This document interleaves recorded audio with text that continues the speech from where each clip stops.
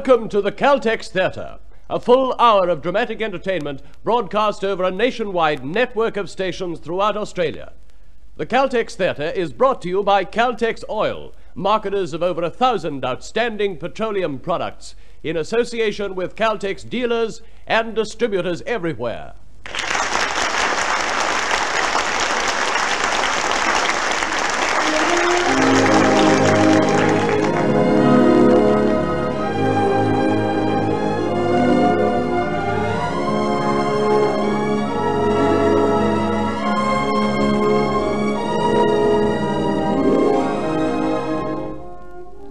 Tonight in the Caltex Theatre, you will hear The Trial of a Judge, written by the well known actor Raymond Massey.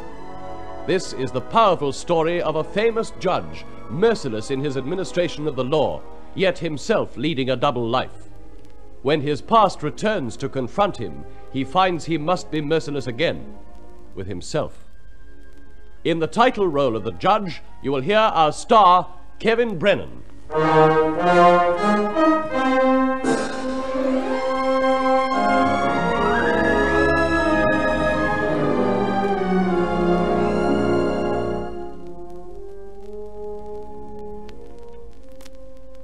The Caltex Theatre presents The Trial of a Judge, Act One.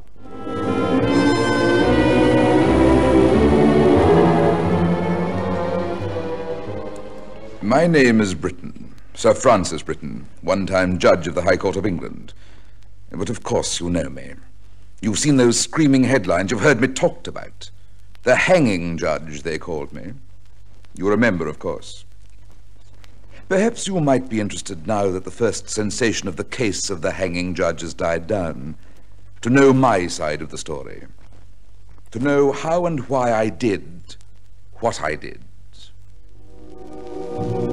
Perhaps the best place to begin the story is in the Adelphi Club, that London meeting place of lawyers, judges, and parliamentarians, where so much happened to shape my destiny. Let me begin the evening after the hearing of an appeal against a death sentence I had passed upon a young murderer. Major Gilbert West of the Home Office, who had refused to allow the appeal, was discussing the matter with me. It may interest you to know, Britton, there was no confession. He stuck to his innocence to the end. It may interest me, but it does not concern me. He was fairly tried. The rules of evidence were meticulously observed. It passes understanding that any decision as to a reprieve was involved. You didn't have to listen to Keith Nottingham for two hours last night. He's a persuasive fellow. Every case is cut and dried. Persuasion doesn't come into it. Why have we developed the trial system? To destroy the result by a sentimental whim? West, the case is always greater than the man. Always. That was my creed. It always had been. It brought me under critical fire a good deal, of course. In fact, I realize now just how much I was disliked, even by other members of the club who are usually civil enough to my face. Men like Sir George Sidney of the House of Commons and Miles Lamprey, the solicitor. I've no doubt they discussed me the moment I left their presence in the club that evening. Lord, what a desiccated, pompous bore Britton is. Don't you agree, Lamprey? He has no social graces, Geordie, I grant you. But he tries rather hard, with complete failure. But. Oh, bless my soul. Now, mm-hmm. on I say, Lamprey, who's that fellow reading with the fireplace? I seem to know his face. Hmm? Oh, a new member. Name of Archer. Just retired as Commissioner of Police in Hong Kong. Of course. I thought I knew his face. Met him years ago. He's coming over here. Yes. Uh, excuse me, uh, Colonel Archer, isn't it? How do you do, Sir George? I didn't think you'd remember me. Of course. Good to see you, old chap. This is Miles Lamprey, a thieving lawyer, I'm afraid. How do you do? How do you do? From Hong Kong, I understand, Colonel. What brings you to London? Well, I'm home for good. I've just been appointed Chief of the Norfolk Constabulary, which is a comfortable progression from the Far East. yes, I expect so. Yes. Ah, here comes someone else you must meet. Sir Keith Nottingham. Whacking good lawyer bloke. Uh, I say, Keith. Oh, evening, Geordie. Oh, hello, Lamprey. Keith, this is my friend, Colonel Archer. Keith Nottingham. How do you do? Oh, how do you do? Oh, now, how about a drink, Archer? I'd like to, but I'm late for a dinner appointment, so if you'll excuse me. Oh, surely. Good to have you back home, old chap. Uh, thanks, Sidney. Good night. Good night, Nottingham, Lamprey. Very glad to have met you. Good night. Good night. Good night. Splendid chap, that. You're looking a bit sour, Keith. What's up? I am, sour. I've just read the press report on a speech Britton made at some dinner last night. Seen it? Yes, I have it here. Um, I will say categorically that within the memory of living man, no person in this country has suffered the extreme penalty of the law without having richly deserved that fate. Imagine being able to say that when young Harry Gosling was just a few hours away from the gallows. The man isn't human. yes, I'm sorry, Keith. I know how you feel about that case. Every case you take on for that matter. You made the best fight that could be made for him. You couldn't have done more. Britton hates me. It was me he was trying, not Gosling. If ever there was a reasonable doubt to work for, I had it. Look at what the case was. An hysterical girl. Baby on the way. She's trying to get him to marry her. He can't. No money. She stabs herself. He's watching. He's seen it. He's faced with that awful fact the dead body. What can he do? He panics. He dumps it in the canal. Poor youngster. We all know what panic is, but, but not Britton. He worked harder on that point than the Crown, played it as, as if he were pleading. And he allowed the boy's past record to be brought in on the damnedest technicality. Yes, he did. Mm-hmm. I argued those points with everything I had at the appeal, and for two hours last night with West at the Home Office. Perhaps you forgot to call him Major. Oh, West wasn't so bad. He's hog-tied by advice from the bench. It was judicial direction I was up against. I couldn't beat that. Britton wanted a conviction, and he got it. And he made it stick. Keith, I know how badly you feel, but you must admit old Britton knows his law, and he's pretty thorough. I believe he lives for the law. There's nothing else he cares about. How can you administer law without one spark of human kindness? Hmm. Emotion and the law. A painful combination. Emotion and the law. They are inseparable. I couldn't help hearing that remark, Nottingham. What? Oh, hello, Britton. It's a most dangerous theory. Sir Francis, you and I both follow the profession of the law. We have that in common, but we have little else. I do not believe that ours or any criminal law can be an unfailing pilot of justice. Mortal laws are administered by mortal men. Neither is infallible. Till the day I die, I cannot and will not leave my heart in the robing room. Very aptly phrased, Nottingham. But I have not at any time, as you imply, claimed that the criminal law is an infallible instrument. This, however, I will claim that in this country it approaches as near perfection as is humanly possible. The law is always right. Always. I believed this, believed it with all my heart. And soon, sooner than I imagined possible, my belief was to be tested. It began that very night, that very hour. The club porter told me a man insisted on talking to me, a stranger. I would have refused, but the name he gave awakened an unnerving echo from my past life. The man gave the name of Teal. Teal's my name, Sir Francis. T E A L. Teal? Yes, Sir Francis. It should be familiar to you. I I've never seen you in my life. No. No, of course you haven't. I've seen you, though. Many times. I saw you recently in your court passing another sentence of death. The hanging judge, eh? I think I must ask you to go. You... Oh, no, Sir Francis, you can't do that. Not to me. I've such a lot to say to you. Do you remember the name of Teal? That's my name. And remember this? This signet ring? You surely remember that. We we can't talk here. Oh, I quite understand. It's not wise for you to be seen talking to me in your club, is it? Much better if I came to uh, Moxton. Eh, Mr. Bainbridge? What's that? What do you know of Moxton? How the devil did you know about Bainbridge? That's quite a little story. But it would be much better to talk to you there, wouldn't it? Well, as you seem to know the whereabouts of my house in Norfolk and my incognito, heaven knows how, well, you'd better come there. I suggest Friday, the day after tomorrow at nine in the evening.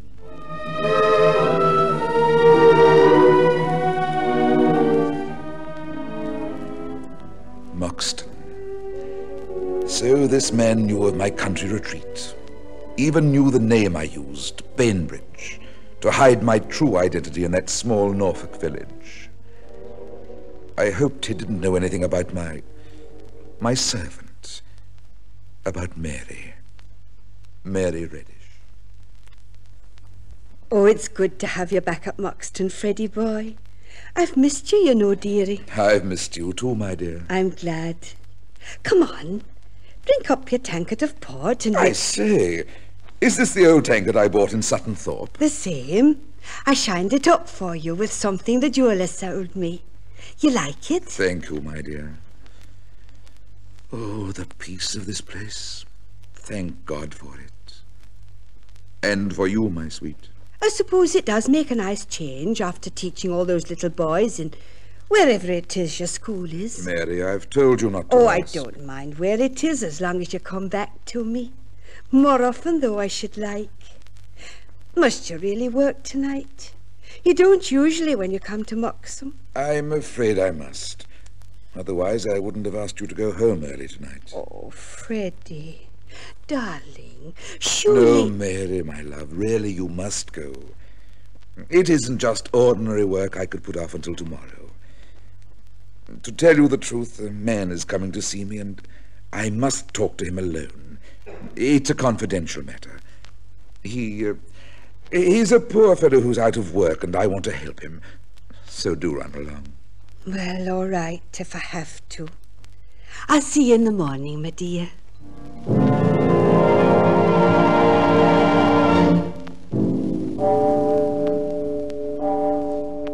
Nine o'clock. You're very punctual, Teal. That's right, Mr. Bainbridge. You will address me as Sir Francis. I'll give you exactly ten minutes in which to state your business.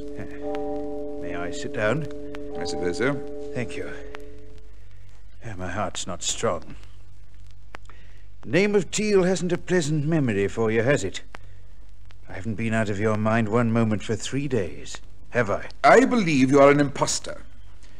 You've made a clumsy allusion to a friendship I had for a certain Mabel Teal 30 years ago. From what you know, pretend to know, you expect some gain. But remember, the law is terrible for the blackmailer, and it properly protects the victim. But there's no blackmail. I want from you exactly nothing. What? Panic again, Sir Francis? you don't like panic. You're very severe with those who suffer panic. When you hanged Gosling, you told the jury panic can presuppose guilt as well as innocence. Yes, you see, I quote you accurately. That is what I said. Could an innocent man have disposed of the girl's body in such a brutish, callous manner? Yes. How you pounced on that. It was the action of a guilty man. A frightened boy, Mr. Justice, who watched a girl stab herself to death. The theory of suicide was preposterous. Of course. You don't believe there could be suicides when murder's suggested. I hope you're right. What do you mean? Oh, I know you well. Day after day I've sat in your court, and I've learned much.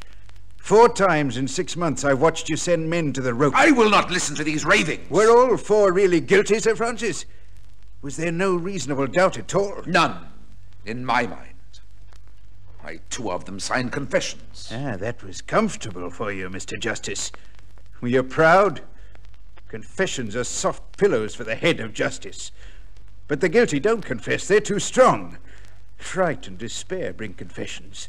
The two who confessed were weaklings, not very likable, like you. Oh, you're hated well. You are quite mad. Perhaps. Yes, perhaps. No, don't touch the telephone. The madman can be safe behind bars, but I'm cleverer than you, so don't telephone. There isn't time. For God's sake, who are you? The hanging judge gets his verdict. Just the facts and no emotion. The beautiful machine. You're not used to fear, Britton. You've not felt fear for 30 years, but you did then. I know. Because I have your letters. Look, here they are, squalid, fearful letters of a coward, written to Mabel Teal, who was my mother. No. No. Here, take them. Read them, Britton. Read them. Refresh your recollection, as you say. Yes, Britton, I'm your son.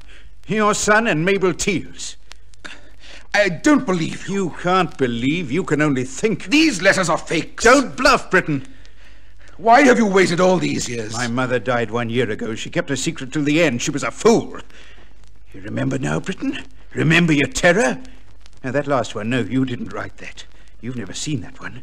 It was written to me one year ago by a foolish old woman, almost your age.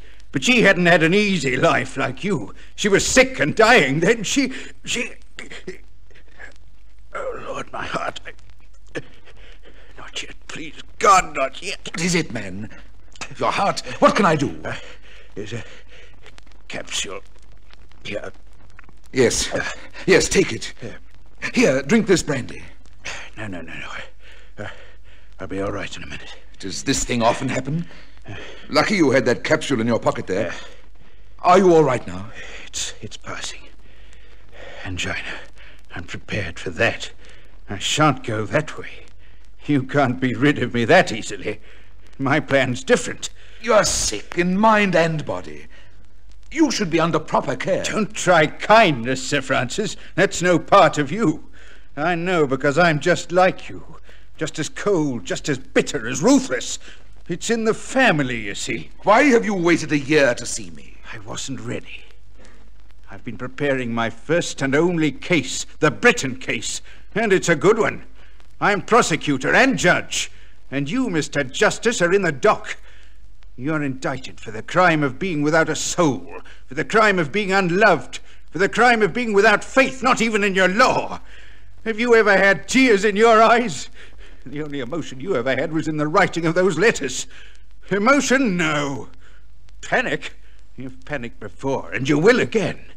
You've missed that feeling since, haven't you, Mr. Justice? No feelings left, just a brain, just reason. That's too bad. It's a crime to be like that. But I can help you, and I will. Filial gratitude, my father. I can give you that feeling of panic and terror that you've always scorned, and I will. Stop! For I hate you, Britton, because you're like me, because you gave me life. I loathe you beyond man's belief. I... Teal! Teal! Quick, quick, there's a capsule in my waistcoat pocket. The right one. Where? Oh, yes, see? yes, I have it. Give it to me. Put, put it into my mouth into my mouth. Here. Now swallow this. Wash it down. Uh, have you swallowed the capsule? Yes. I've swallowed it. Thank you. Why, you... You're... Yes. Yes, I'm all right. There's nothing wrong with my heart. But that capsule was poison. Poison? Yes, and you gave it to me. You put it into my mouth with your own hands. You poisoned me. In a few minutes, a few short moments, I'll be dead here in your house, and you did it. That's murder, Mr. Justice Britton. Murder. Eh, and now what'll you do, eh? I wonder. I wonder.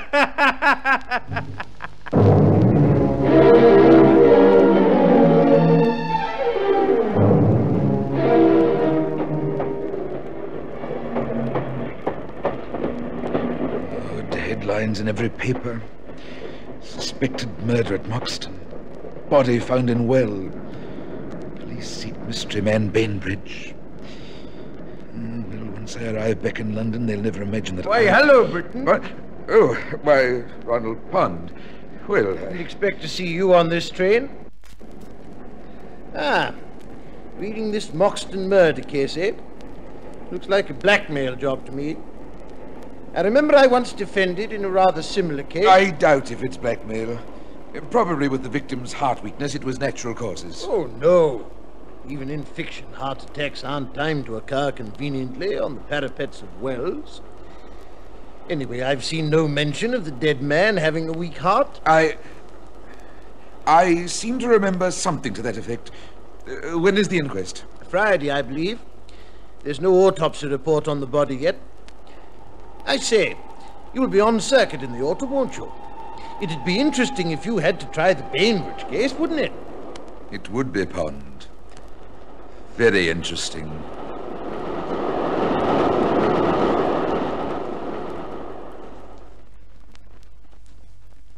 Hello, Archer. I'm surprised to see you in the club today. As Chief Constable of Norfolk, I thought you'd be up to your eyes in this body in the well business. So I am, Sidney, so I am. I'm in London now to confer with Scotland Yard about it. I'm pretty sure this missing man, Bainbridge, is our murderer. Tell me about him. Nobody seems to know much about him in the district. He's a school teacher, only goes there on vacations. He had a rather unsavory reputation as far as his servant was concerned. What about this fellow Teal, who was found in the well? Another mystery man. We only know he was Bainbridge's first visitor ever. Disappeared the day he went to see Bainbridge. Found 19 days later at the bottom of the well. But death wasn't from drowning, no water in the lungs. And apparently not from bashing either. He only had superficial marks from the drop. We're still waiting for a post-mortem report on the stomach. What did you find on the body? I. Well, I, I shouldn't do this, but. Uh... Well, look at these photostats. They were found in a sort of secret pocket in Teal's coat, wrapped in oilskin, so they're not too badly damaged. First one's a copy of a birth certificate.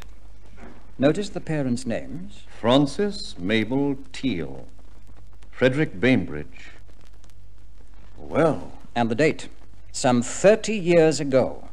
About Teal's age, according to the doctor. The others are photostats of a series of letters about the same period, and they tell a sordid little story. All from Bainbridge to a woman Teal. Love letters first, then a couple expressing shock at the news that she's expecting a child. Then annoyance when she apparently told him that she wouldn't do anything to prevent it. And finally, a week later, this. My dear Mabel, I am shocked and surprised. I must repudiate all responsibility, and so on, so on. I think it would be undesirable for us to meet again. Sincerely, F.B. Dirty dog. I see why you want to find your elusive Bainbridge. Swine. Was he questioned at all between the time Teal was reported missing and the finding of his body in the well in Bainbridge's garden? Oh, Lord, yes. I went to see him myself. What's he like? Rather fine looking chap, rising 60, I should think. Acts like a man used to authority. Rather truculent. Following day, he disappeared, and we can't find any trace. Good Lord. What's up? Look, coming into the club now. Hmm? Oh, that's Sir Francis Britton, High Court Judge. But. Haven't you met him? I'll call him over. Oh, Judge. Hmm? Oh, hello, Sidney. This is Colonel Archer. He's trying to drum up some business for you. I. Uh, um, how do you do? I believe we've met before, Sir Francis. Uh, really? I don't remember. No? Uh, oh, of course. It was at Moxton. You came to see me about the disappearance of that poor vagrant. Uh, what was his name? Teal. Yes, yes, Teal. I can understand the Colonel's confusion, Sidney. He met me at my Norfolk house under the name of Bainbridge, which I used to ensure privacy during my leisure time. Good God. I'm glad you've admitted that. Sir Francis, this is a very unpleasant task for me. I must ask you to accompany me to Scotland Yard for questioning on the matter of the death of John Teal. I realize my position is an equivocal one. One pays dearly for the privilege of privacy, doesn't one? I prefer to say nothing at this stage. My solicitor, Sir Ronald Pond, is in the club at this moment. I should like to consult him before anything further is done. Very well. Thank you very much, Colonel Archer.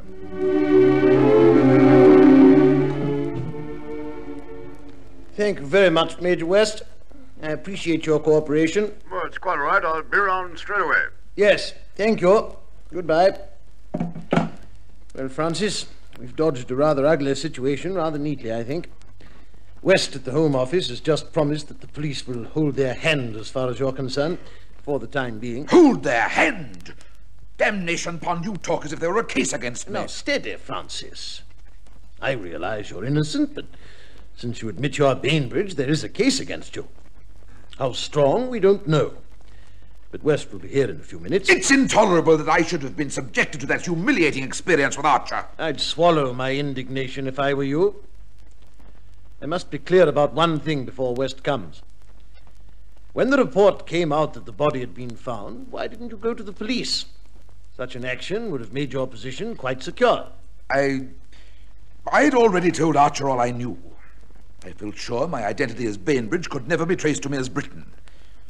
I couldn't have foreseen this confounded encounter with Archer in the club. I see. It was a bad mistake. But not necessarily evidence of guilt. Similar circumstances have sometimes been so interpreted from the bench, Francis. What the devil do you mean, Pond? I'm not on trial. We'll try to see to it that you won't be. What did you say to Archer when he questioned you about the missing man at Moxton? I merely gave a brief account of Teal's visit to me. That he was a man who had done me a service some years ago, and that I'd since given him financial help occasionally. Hmm. I described him as being extremely overwrought at the time. I think I mentioned the possibility of suicide being in his mind. Well, we must wait until West arrives and lets us know what sort of case the police think they have against you.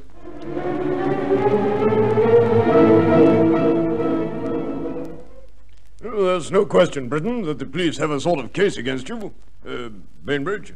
But uh, it will not be pressed at this time. I don't like that, West. What is the case, Major? The main points are that the man died of cyanide poisoning. What's that? Poison? Home Office analyst report just came in. And some letters were found on the body. What letters? There could.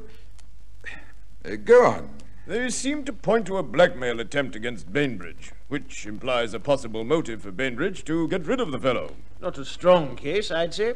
Well, Fellows of the Yard is inclined to agree. He thinks the facts rather indicate suicide. So you're having them hold off Sir Francis, Major? Yes. It would be appalling to subject the judge to the humiliation of clearing himself, when the chances are that the case, after all, is uh, suicide. What of the inquest? Oh, on no account must you appear.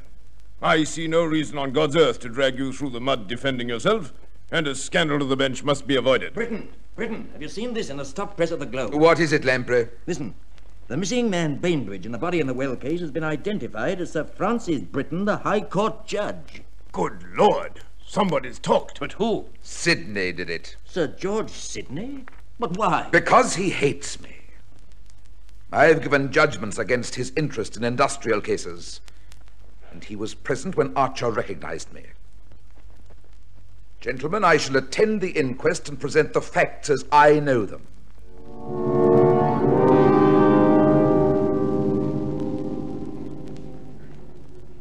This is the BBC. Here is the special news bulletin.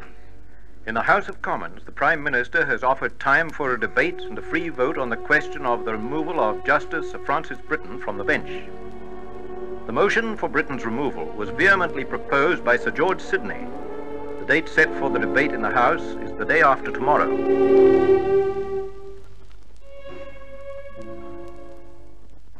Lamprey, where's Britton? I can't find him. He's not at his house or here in the club. I've got to tell him if he's not out of the country by midnight, he's to be arrested. What? But, Pond, the government's discussing the whole business the day after tomorrow. Nothing can happen till then. That's all changed.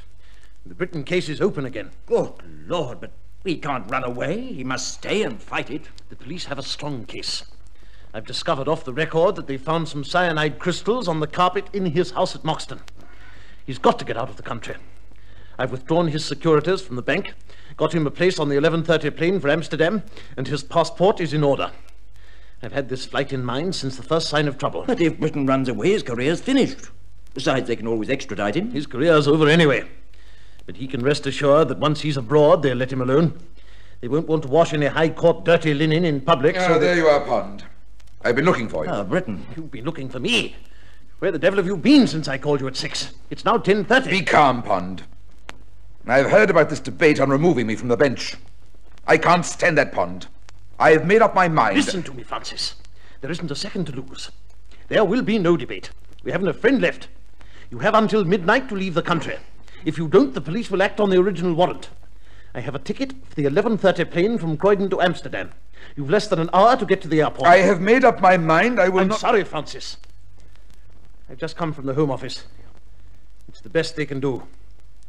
You have West's personal promise there will be no arrest before midnight. No, Pond. Why should I give in and run? I'll face it out here, ridiculous as the charge is. The law must take its course. I'm sick of all this. I have no alternative but to give myself up. I have faith in the law. My life is in no danger, but my future is at stake. You have no future if you remain here. If I stand my trial under English law, I would embarrass the government. Is that it? Francis, I hope not to have to tell you this, but. Well, bluntly, if you stand your trial, the Crown will be very unpleasant about that servant girl of yours. Mary.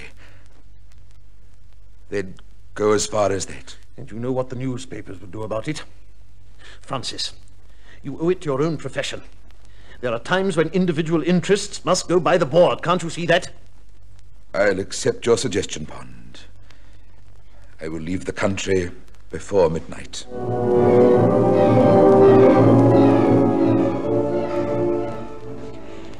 So there it is, Sidney. We've got a complete case against Britton. A prima facie case of poisoning. Definitely not suicide. We can establish motive. The dead man attempted blackmail, and we can prove opportunity. And now, a final piece of evidence has just turned up tonight. What's that, Archer? The club porter has recalled that about a month ago, a man called to see Britton, here in the club. Gave his name as Teal, even spelt it T E A L. What? Then, then that means. It means, my dear Nottingham, that we now know that Britton definitely knew the identity of his visitor at Moxton, and probably the purpose of his visit.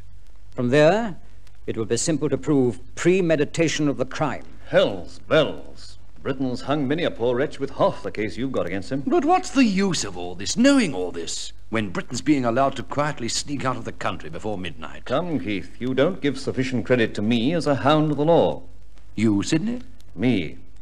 When I learned that our dear Home Secretary had agreed to a European sanctuary for friend Britton, and had borrowed the First Lord's telescope to clap to his blind eye as far as the 1130 plane from Croydon was concerned, I took the necessary steps to prevent the defeat of justice. What the devil are you getting at? Archer knows. Archer, where are Inspector Vincent and Sergeant Scotton at this moment? Exactly 11.30. They've trailed Britton to Croydon. They'll be there now. Of course, they've been given orders not to lay a hand on him before midnight. And by midnight, he'll be well on his way to Holland, right out of reach. My dear Nottingham, the 1130 plane from Croydon has a choked feed pipe. What? How do you know? I'm not a director of Imperial Airlines for nothing. It takes a devil of a long time to unchoke a feed pipe. At precisely one minute past midnight, Sir Francis Britton will be arrested at Croydon Airport for the murder of John Teal.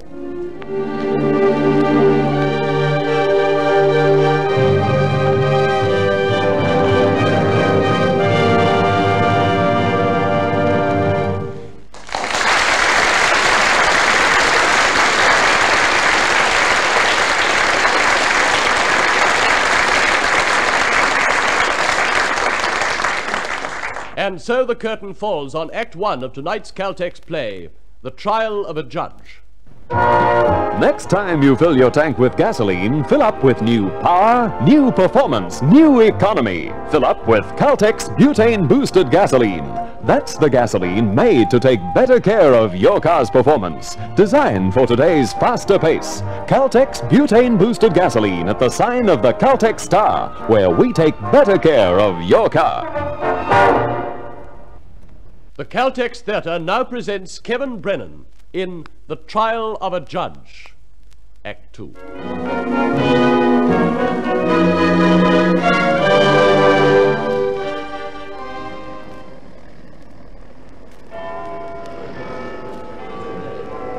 Midnight?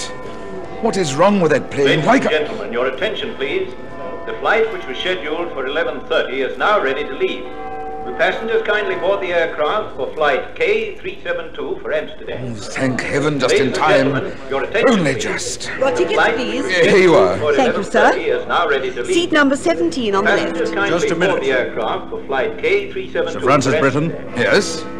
Francis Britton, you are under arrest on the charge of murder. I warn you that anything you say may be used in evidence. Come with me.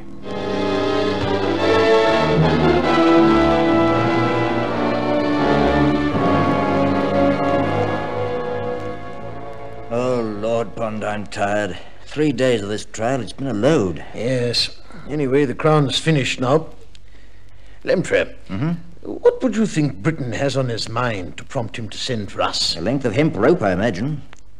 We've waited a long while in his cold visitor's room. I hate iron bars and stone. Oh, where the devil can Britton be? Somewhere in this jail, unless he's a phenomenally skillful athlete. If only he hadn't made me admit those letters. And those cyanide crystals on the carpet are going to be hard to get past. Britton's honesty is our main hope. He seemed to impress the jury by not trying to conceal anything. Ah, the guard's bringing in now.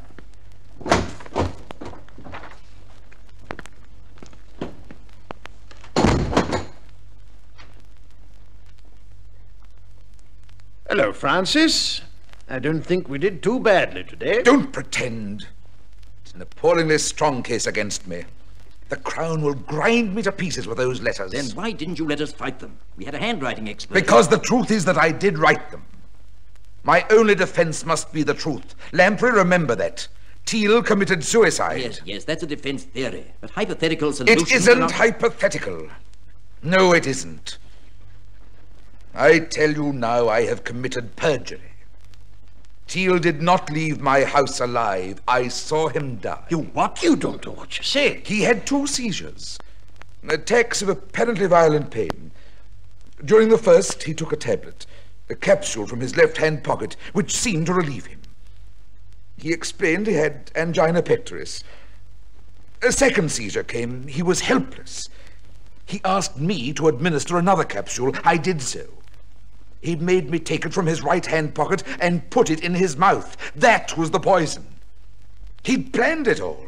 He was dead in a few minutes. Good Lord. What happened after he died? I thought what to do for a long time. First, I wanted to phone the police, but I thought. I didn't do that.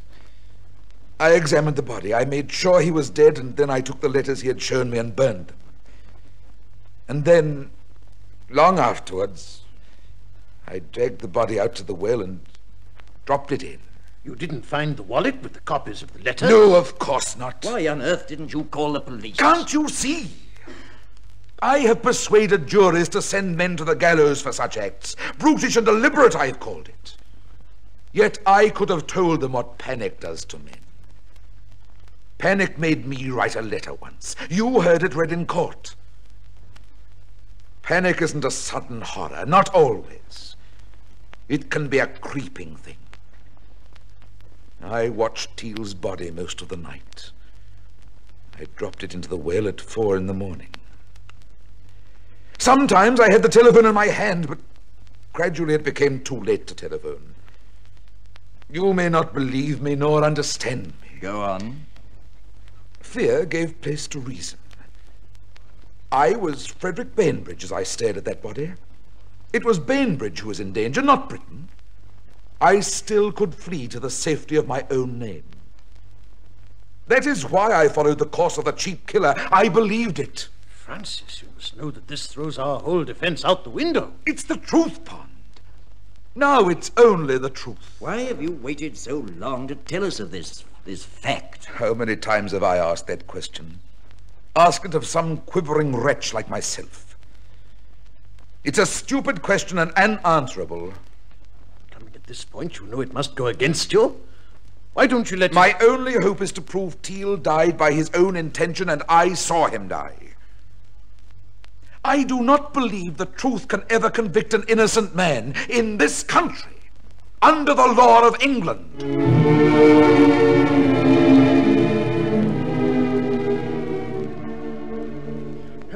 Nottingham. Sorry to ask you to meet me here at the club and then keep you waiting. Oh, that's all right, Sidney. Glad of a bit of relaxation. Prosecuting Britton has been a strenuous job so far.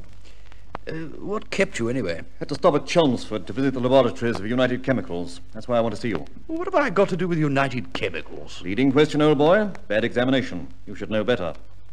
Let the witness ramble on in his own inimitable way. Oh, Sidney, for heaven's A sake. A bit edgy, eh? Is it possible that Britton's latest fantasy disturbed you? As it did me? You mean his story of suicide? Seeing Teal die? You think I used the right word? Fantasy? The right word, yes. I don't believe it, of course. But I'd, I'd rather not discuss this. You'd I- be wise to, my dear Keith. At any moment, I may disclose a fact. And what lawyer can resist a big, succulent fact? What fact? First, an opinion that may interest you. I, for one, probably the only one, happen to believe Britton's story. What? You believe Britton? Yes. What guilty man could make up that fairy tale? I put the capsule into his mouth. That was the poison I didn't know.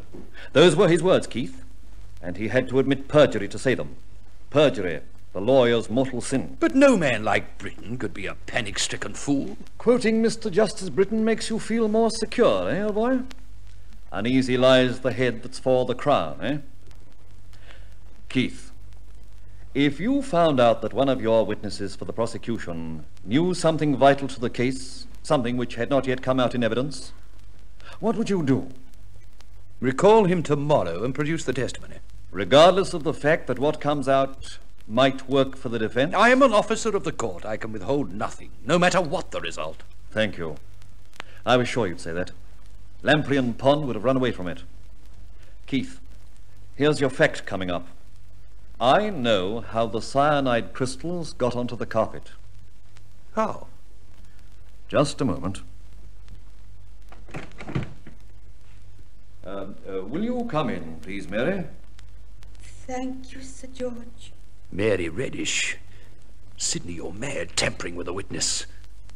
What does she know? Mary, I want you to answer the questions I ask you, just as you did when we met at Moxton.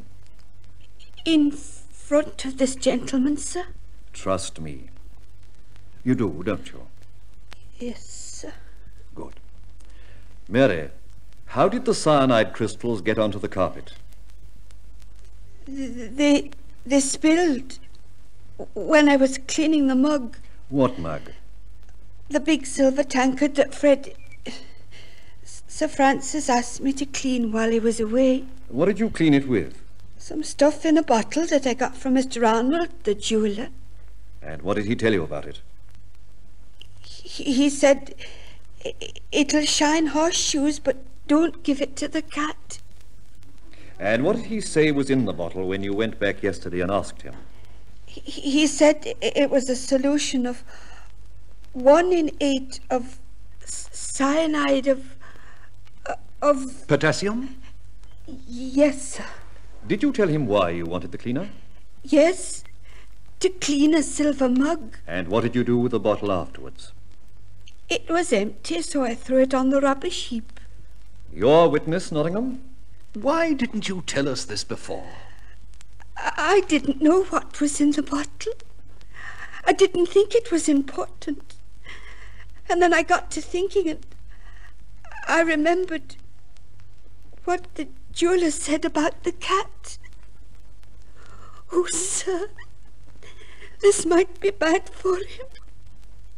Everything I've said so far has been bad for him. Miss Reddish, you may have saved Sir Francis. You've certainly done him no harm. Yeah. Go along and wait in my car downstairs. Go along. There's a good girl. Thank you, Sir George.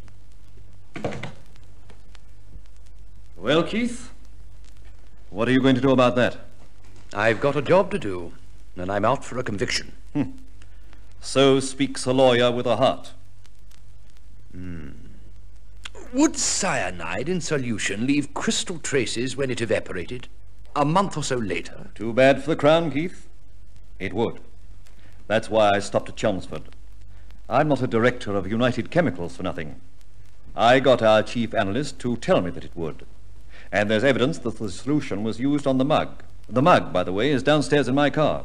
This is extraordinary. It may get him off. But it could also be used as proof of possession of the poison. If the jury believe that girl, then Britton's acquitted. But if they don't, and she's about as tarnished as the mug you talk about, then Britton will hang, and perhaps she will too. I can only bring out her story in direct examination. Lamprey will leave her alone, of course. And that evidence is better for Britton coming from the prosecution. You clever swine. I'll telephone this jeweler. Uh, uh, what's his name? Arnold. Bill Arnold. And he's downstairs in my car, too. If I'd been in Moxton much longer, I'd have needed a bus. You lazy lawyers. Can't find your own evidence.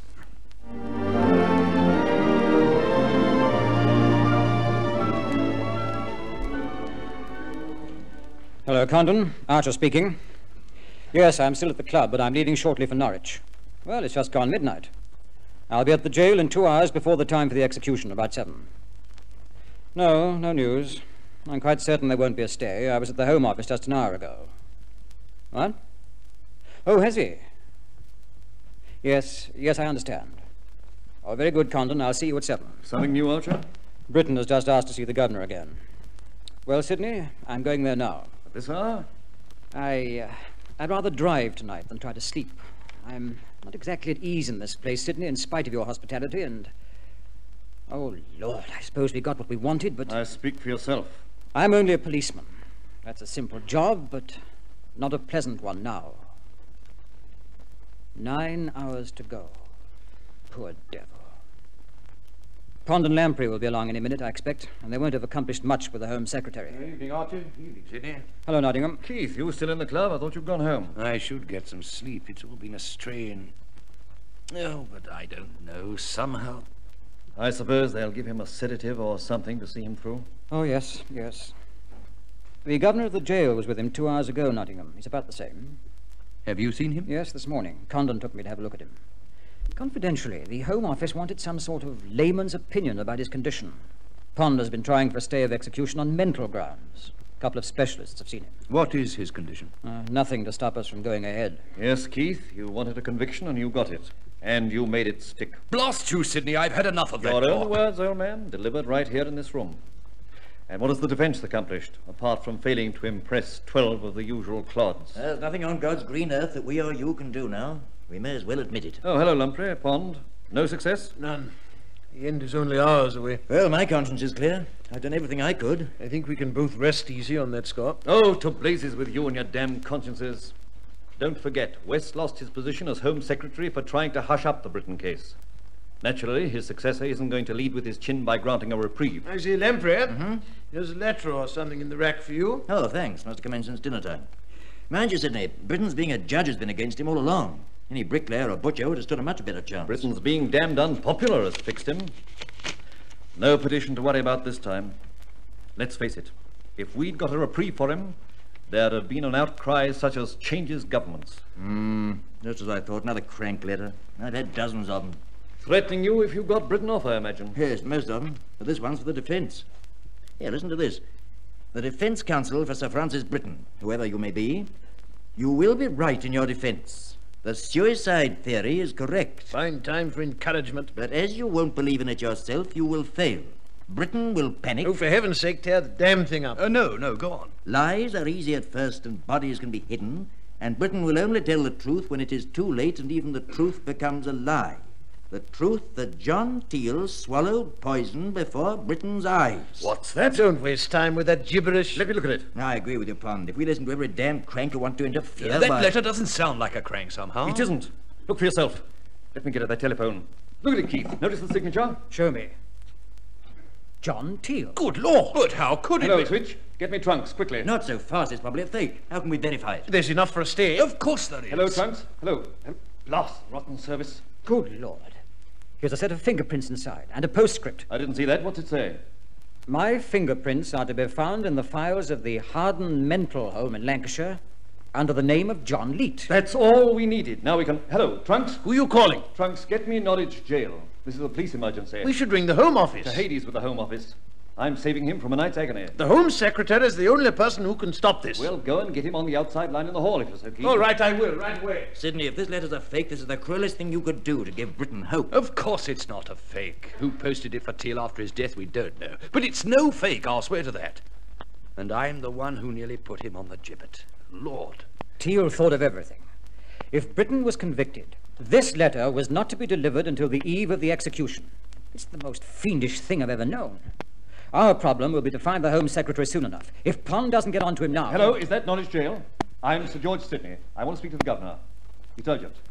All right, but please hurry. Who did you speak to? The warder. The governor's with Britton now. Archer, take the phone. You'd better speak to him. The Home Secretary is on his way to the country. They won't tell me where. He left in his car half an hour ago. He's on the road somewhere. Archer, it's up to you. All right, we'll find him somehow. Hello, is that the governor? I'll put Colonel Archer on. Thanks. Hello, Condon. This is Archer. We've just received a letter which I believe genuine and which proves Britton's innocence. Yes, I know it's a matter for the Home Secretary. We're getting him. But whatever happens, hold off until. What? What? What is it? What's wrong? Just a minute. You can't mean it. Well, hold off till you hear from the Home Office. Archer, what's happened? Britton has just signed a confession. What? Oh.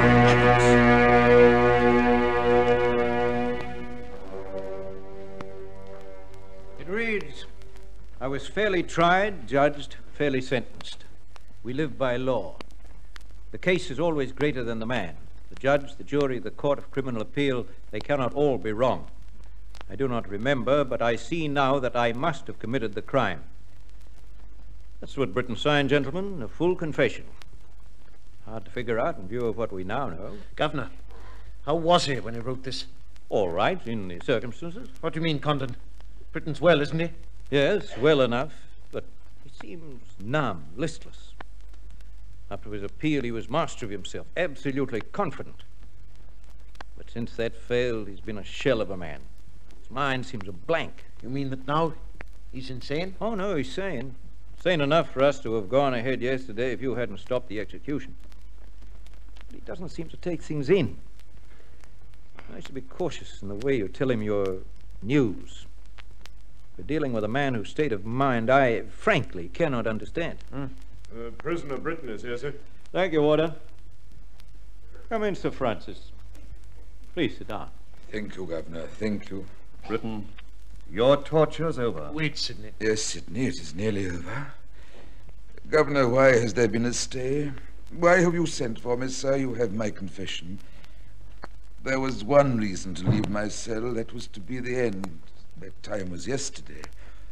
Is there more interference in this case? We have good news for you. This case is closed. Just the end remains. The law does not torture. There should be no delay. These friends of yours, your solicitor and Sir George Sidney, they've come to tell you themselves. Yes, Francis.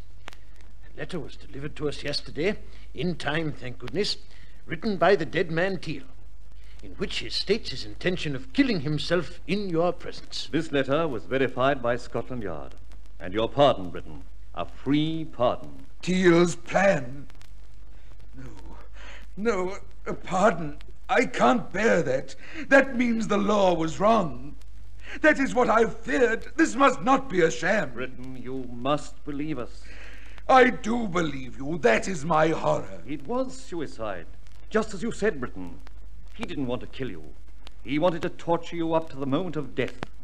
He was callous, ruthless, cruel. A fiend. He was my son, and he is one. I am pardoned. Even by law he is one. I am to live on. That's how he planned it, that I should betray everything I believed by panic, lies, treachery. Be fairly tried, condemned, and yet have no release. Britton, Britton, I know mistakes have been made, muddling all round shortcuts. But an innocent man's been saved from the gallows. Human feelings have had a chance. Isn't that justice? No! Human feelings have turned justice into a farce. Human feelings cannot be trusted. That's why we have the law. Better an innocent man should die than that the law be made a fake.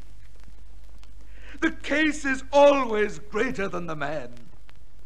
I was fairly tried, rightly condemned.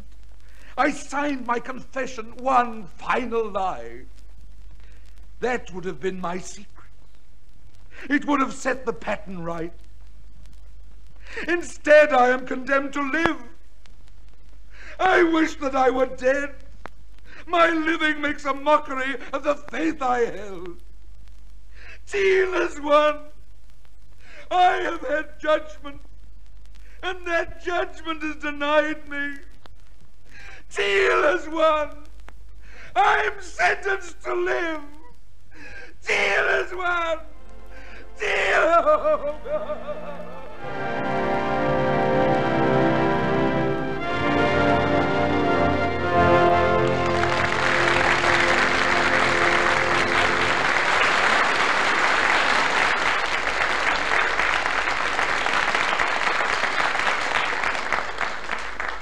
So ends our Caltex play, The Trial of a Judge. In a moment, we will give you tonight's cast and tell you about next week's presentation in the Caltex Theatre. The Trial of a Judge was adapted for radio by David Netheim from the play The Hanging Judge, written by Raymond Massey. In the starring role, you heard Kevin Brennan as the judge, Sir Francis Britton.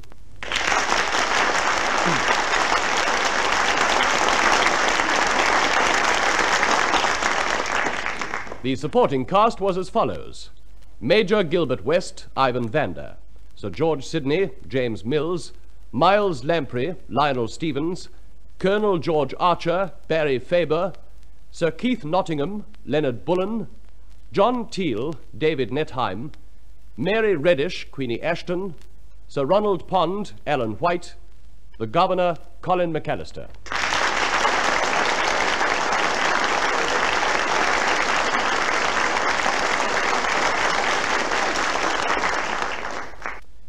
Now, this is your compere, Rick Hutton, bidding you good night. On behalf of your hosts, Caltex Oil, marketers of Caltex Super Gasoline and Caltex Gasoline, the world famous RPM 1030 Special Motor Oil, and Marfak Lubrication.